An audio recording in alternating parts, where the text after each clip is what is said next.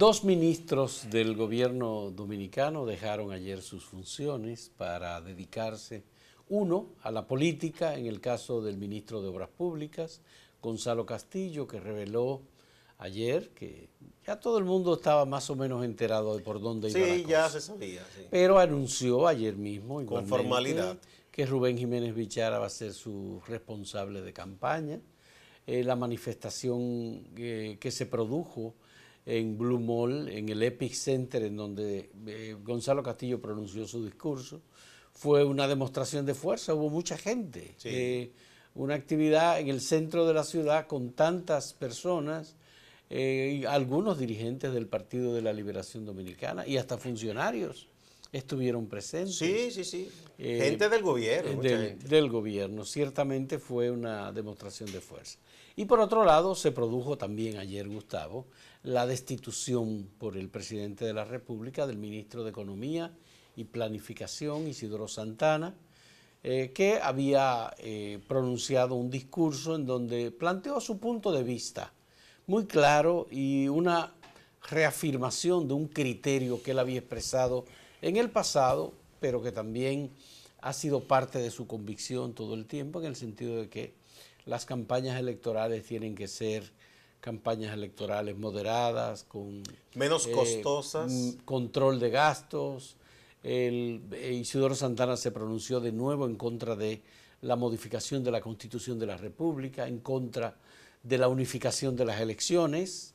Eh, ya el ministro de Hacienda, Donald Guerrero, había dado declaraciones eh, eh, horas antes en el sentido de que si unificaban las elecciones congresuales y, municipales con las presidenciales, entonces eh, el ahorro sería de aproximadamente 6 mil millones de pesos. Sí, pero la situación de Isidoro Santana, eh, más o menos quien conoce su trayectoria, sabía que él de alguna manera no iba a ser un hombre de una carrera dilatada en el Estado, por muchas cosas.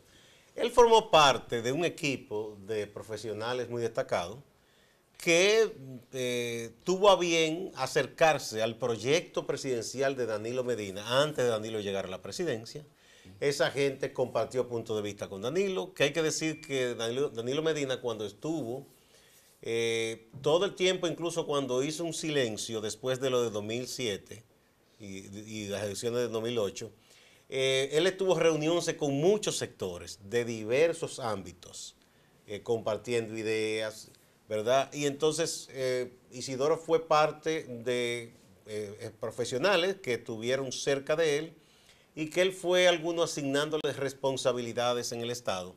Él no fue de los primeros, porque no hace tanto que lo nombraron. inició- Isidoro trabajaba como asesor en el Ministerio de la Presidencia, con Sí. Gustavo Montalvo. Exacto, pero que fue- fue por ahí que llegaron. De esa posición, Isidoro pasa entonces el 16 de agosto del 2016 a ministro de Economía. Yo recuerdo que el 16 de agosto del 2016, Isidoro no, Santana... No, no, no, no fue el 16. Sí, que fue en el 16, Gustavo. Estaba aquí, venía, venía con nosotros a una entrevista el mismo 16 y lo llamaron. Yo, yo entendía que él tenía menos tiempo. y pero lo la- la llamaron y le, está fallando. y le dijeron que él tenía que Bueno, el caso es que prepararse para tomar posesión. Él no ha sido un, un hombre de, de, de asun- de- de participar en partido político así hace muchos años.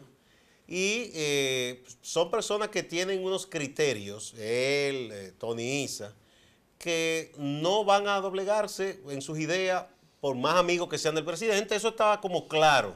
Digamos que no piensan políticamente en función del Partido de la Liberación. Ni del Dominicana. trabajo que tienen en el Estado. Exactamente. Entonces, él había dicho ya que no estaba de acuerdo con una reforma de la Constitución, ahora lo reiteró, eh, después de dar un informe muy positivo sobre la economía, ante preguntas de los periodistas, entraron en ese Ya. tema. Ahora hay que decir, Gustavo, que Isidoro Santana hizo una labor eficiente, eh, técnicamente impecable, retomó las funciones del Ministerio de Economía y Planificación en términos de la coordinación de la cooperación internacional con República Dominicana. Eh, yo creo que eh, consolidó Fue un equipo técnico, fue- consolidó un equipo técnico al frente del, Ministerio de Economía y Planificación. Yo lo que espero que ese equipo ahora no lo desbaraten. Bueno, hay algunas personas ahí que, por supuesto, eh, son personas muy, muy calificadas. Y, luego la designación de Juan Ariel eh, Jiménez eh, Núñez es igualmente una designación. Fíjate, viene del Ministerio de la Presidencia. Sí. Él era viceministro, de la Presidencia con Gustavo Montalvo eh, independientemente de que sea hijo de Felucho Jiménez, es una persona... No le quita mérito. No le quita mérito. Eh, bueno, lo que conozco por un amigo que fue profesor, que dice que él es un, era un joven muy brillante y después hizo estudios en Estados Unidos y tiene la calificación. Acabo de ver eh, un comentario producido por Ricardo Hausman, un economista chileno establecido en Estados Unidos con muchos méritos, emitir una declaración a favor de Juan Ariel Jiménez Núñez, diciendo que es una persona de una excelente formación y que eso incluso va a contribuir al fortalecimiento de la labor del Estado en el caso del Ministerio. Qué bueno que un buen funcionario ha sido sustituido por una persona muy bien calificada. no hay que tomar en cuenta eso porque en ese caso no se puede decir que sea nepotismo porque Felucho no trabaja en la presidencia, aunque es del mismo partido. Digamos que pertenece a la presidencia de la República porque la Refinería Dominicana de Petróleo es designada, las funciones allí, por el presidente. Pero igual todos los funcionarios, porque este es un país muy presidencialista. pero te quiero decir, porque yo sé, la gente tiene sus reservas, sus enconos, pero no es justo quizás que a este joven lo quieran descalificar porque es hijo de padre. No, no porque eso no tiene que ver. ¿no? Es lo que tiene que demostrar eficiencia y calidad en su trabajo y, transparencia. Ya. Aunque también, por supuesto, hay que tomar en cuenta que en el gobierno eh, tenemos casos de familias. Eh, muchas, muchísimas. Que, eh, ocupan muchas posiciones. No, y en muchos casos, algunas que no se conocen. no, hay muchos que no trabajan nada porque este muchacho trabaja. O sea, gente que no trabaja ni asiste ni nada y tiene sueldo. Mira, esa es otra de las características. Es un joven de, creo que apenas 30 años. Yo pensé incluso que era más joven, pero que tiene 30 ya. Sí, es un técnico bien calificado, estudió en Harvard, ha sido bien valorado por las personas que han trabajado con él, se le reconoce, es decir, no tiene eh, eh, la prepotencia y, la pugnacidad que se le reconoce a su progenitor. Pero ya, ya, eh, ya Felucho viene ya embajada, ya Felucho no está tan peleón como antes. ¿Tú crees? Yo lo vi que estaba muy en camaradería en la entrevista que le hicieron ayer. En, uno más uno. bueno. bueno. pues eso, Gustavo, yo creo que es un dato importante. Luego está, ya veremos qué hará el presidente, a quién designará el presidente en el Ministerio de Obras Públicas, si Gonzalo Castillo deja una impronta de eficiencia, de calidad en el desempeño de sus funciones y por supuesto eh, ese es su punto de arranque en la campaña electoral. Sí, él tiene, él, él, se ocupó de ciertas cosas puntuales en obras públicas, de trabajar con los caminos vecinales, reconstruir pequeños puentes, que desde aquí cualquiera dice eso no es nada, pero eso es muy bueno para la comunidad. Esa fue también un poco la línea de trabajo en la construcción que hizo Hipólito Mejía. Que mucha gente siempre dice, ah, no hizo nada. Pero baja que no todos los gobiernos tienen que hacer obras monumentales, ¿verdad? Grandísimas, costosas. A veces esas pequeñas cositas que se le hacen a un pueblito, a un campito, son, son la mega obra de esa comunidad. Gustavo, en la economía dominicana, cuando se analiza la distribución presupuestaria, pocos gobiernos han tenido una distribución eh, presupuestaria distributiva, más eh, equitativa, y tomando en cuenta cada una de las regiones. Eh, Incluso la mayor inversión en, en políticas sociales de gobierno alguno ha sido la del gobierno Eso fue, eh, este tenía un funcionario, ¿cómo era que se llamaba? Manuel Vargas Payano. Es una persona con una alta calificación que tenía eso muy claro. Muy claro. Lo que te dice es que a veces la gente ve a Hipólito, por ejemplo, y sale con una cosa, pero él no es la persona que aparece locuaz así y aparentemente eh, como eh, muy improvisada él, escucha a los técnicos y hace cosas también. O sea, eso tiene también una visión de, cómo deben ser las cosas. Yo pienso que en ese aspecto, Gonzalo lo que ha hecho es eso. ese servicio a la gente en las carreteras para más pequeñas obras y eso es bueno. Vamos a hacer una pausa. Ahorita dicen que somos lambones, ¿eh? porque la gente está así ahora.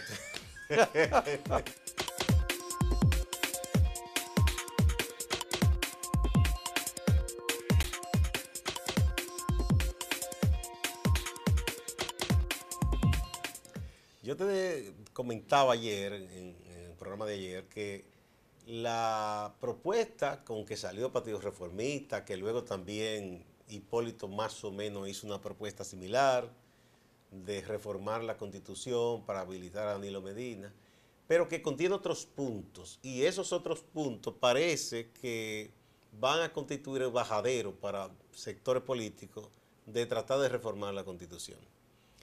Eh, ¿Cuáles son esos puntos? Bueno, uno es la reunificación de las elecciones y el argumento es el alto costo y que la Junta va a ser sobrepasada de trabajo. Eh, ya tú mencionaste lo que dijo el ministro de Hacienda. Y si tomamos en cuenta lo que había dicho Isidoro, y que parece que ese fue un tema sensible para que el presidente decidiera a su amigo eh, destituirlo, parece que hay gente que está en serio en eso, eh, de tratar de reunificar las elecciones. yo no sé si se va a buscar algún tipo de negociación, un avenimiento. La gente de eh, Leonel Fernández, aunque no lo ha dicho él, su grupo mm, ha dicho, no de manera oficial, porque lo dijo el doctor Albuquerque y, y otros, pero no es un documento firmado por todos, que están en contra. Habría que ver si, además del grupo de Hipólito Mejía en el PRM, hay más personas, más dirigentes, que estarían dispuestos a una negociación para esa reforma. Porque no, es algo que se ha quedado así, están en eso. Pero bueno, el tema es que hay quienes tienen una posición muy firme de rechazo a que se toque la constitución en este momento. ¿Qué es lo que ha dicho el grupo de Leonel Fernández? Que como los partidos políticos están ocupados en su precampaña y en la selección de los candidatos que deberán presentar a la Junta Central Electoral a más tardar el 22 de agosto, es decir, eh, dentro de tres semanas, no es posible entrar el país en un proceso de modificación constitucional. Por otro lado, está el tema de cuáles artículos se tocarían de la Constitución de la República. Eh, por supuesto, si se entra en eso, pues habrá gente que diga lo que ha sugerido Hipólito y Kiki Antún en primer lugar y que luego alguna gente le ha dado apoyo, que es la habilitación de Danilo Medina. Hay quienes están en contra de eso y dicen, bueno, pues no vamos a tocar ese tema y mejor no hablemos. Es un combo. Es como el hamburger que viene con las papas. No, porque entonces el, asunto es costo de elección, Consejo de, la magistratura. Ese es el hamburger, pero la papa es habilitación de Danilo para 24. Pero bueno, la constitución del año 2010 fue la que separó las elecciones. Y esa constitución, para eh, darle la oportunidad a que se pudiera hacer lo que hoy tenemos, hubo que permitir que el periodo 2010-2014 se convirtiera en el periodo 2010-2016. Es decir, hubo un periodo de senadores y diputados y de alcaldes que fue de seis años. Sí. Entonces, no hemos hecho la primera elección separada y ya queremos modificarla. La, no se ha la primera la municipal. Municipal separada, no se ha hecho. Sí. No hay. Es decir, para después de haber entregado dos años más a cada diputado y senador y alcalde del país y director de distrito municipal, entonces ahora vamos a tocar de nuevo. A ver una cosa. Después de la crisis que hubo en el 94, se legisló. Entonces se separaron ahí las congresuales y municipales de las presidenciales. La primera separada fue en 98. Exactamente 30 años después 98, de la de 68, que hubo municipales separadas, que fue cuando Balaguer llegó gobierno en 66, vino 68. Eh, luego, ¿cuándo es que se unifican de nuevo, después del 98? Porque 2002 fueron separadas también. Las elecciones congresuales. Municipales y presidenciales.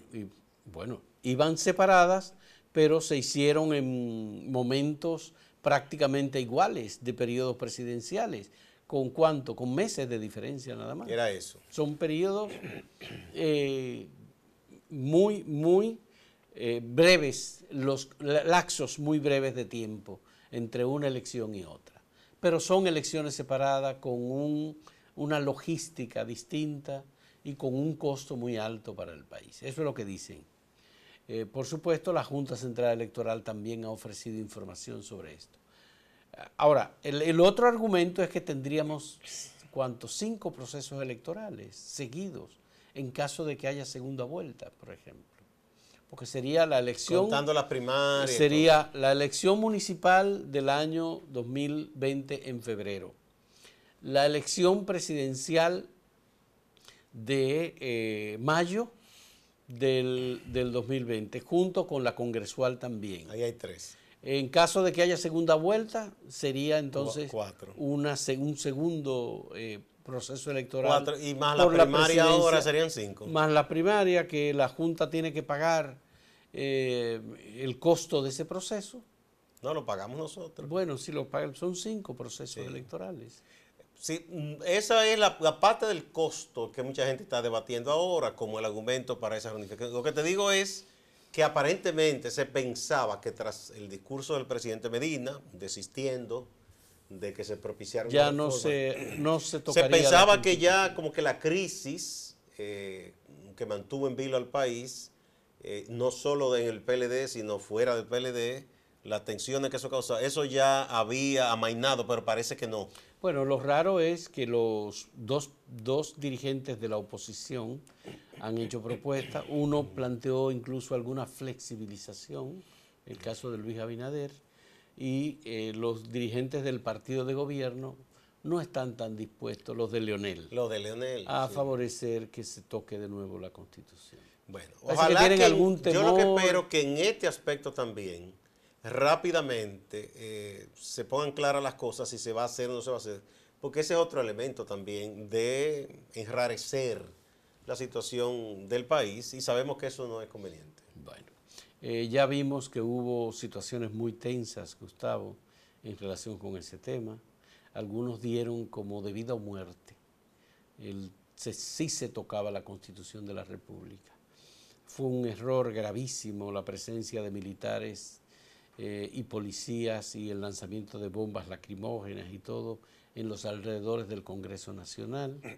Eso generó muchos temores eh, y probablemente fue uno de los puntos que más daño hizo al proyecto del... Bueno, gente del litoral eh, que favorecía la, reelección del presidente Medina o, mm, del litoral gubernamental ha dicho ahora que cayeron en un gancho en el Congreso, quizás el profesor Camacho y, y Reinaldo Párez Pérez, porque parece que, al parecer, el otro litoral de Leonel Fernández y demás, habían filtrado rumores de que iban a llevar la protesta al extremo hasta de entrar y encadenarse. Y que entonces ellos en prevención pidieron las fuerzas policiales y militares. Para parecer era un rumor para provocar ese error. Bueno, si es así, dio resultado. Recuérdate que Bauta Rojas, eh, dirigente de esa corriente en el Partido de la Liberación Dominicana, habló hasta de pegarle fuego al Congreso. Pero no literalmente. Bueno, pero eh, dio unas declaraciones tremendistas que dieron más o menos la idea del tono. De, y parece que eh, Reinaldo Entonces, eso indujo, cometieron el error. Eso indujo a buscar eh, medidas de seguridad extrema que incluyeron una cantidad de agentes policiales y de militares eh, que al final terminaron enfrentados con los diputados leonelistas. Y recuerda el desmayo de, uno de los diputados. Tú sabes que a, propósito de eso, de las tensiones en el PLD y eso, recuerda que el PLD, sus primarias son abiertas. Henry Merán fue el que se... Eh, sí. son abiertas. Sí. Entonces, como son abiertas, cualquiera que no esté militando un partido, lo que fuere, puede acudir y votar ahí. Entonces ya hay eh, grupos que están un poco observando por dónde viene la cosa para decir a quién apoyan sí o no. Ya la FNP dijo, es con Leonel que nos vamos. Ahora ellos no pueden votar, pienso yo, en la primaria, porque ellos pertenecen a un partido, ¿o sí? Eh, no, si están inscritos en un partido reconocido por la Junta, son excluidos. Ellos pueden Solamente los que no están inscritos en un partido. Ellos sí pueden, hacerle. Y los que son del PLD. Ellos pueden hacerle campaña a Leonel Fernández, eso sí. Eso sí ellos pueden hacer. Eso lo han hecho todo el tiempo. Sí, a veces no sé si esa campaña es tan efectiva, pero bueno. Vamos a una pausa ya.